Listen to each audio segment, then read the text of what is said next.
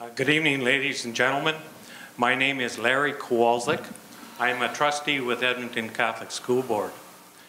Some of you may know or not know that we have had two students hit in front of O'Leary High School this year. We had one hit last year. And the traffic around our schools is really a concern to both the school board and the administration. Thank you, councillors, for allowing us to have this public engagement and to give the- our input. I was wondering, we think that what would really help is if we rejuvenated the school zones, 30 kilometer per hour school zones. I think that would really help. What are your ideas on that?